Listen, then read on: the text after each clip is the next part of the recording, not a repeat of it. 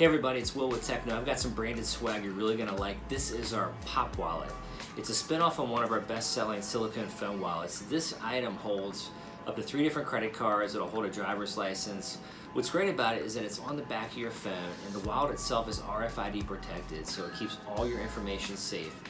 Built onto it is a grip that you can use to simply secure the phone when you're texting with it or taking selfies. And it's also a phone stand too, so when you put your phone down and you want to watch a video or FaceTime with somebody, it serves that purpose too. What I really like about it is that you can imprint multiple colors on this piece and the imprint looks fantastic and it comes in great retail packaging. So when you give it to someone, it tells them what the product is, how to apply it, and how to use it, and it gives it that higher perceived value. So low minimum, only 50 units, and price points starting around $3 a piece.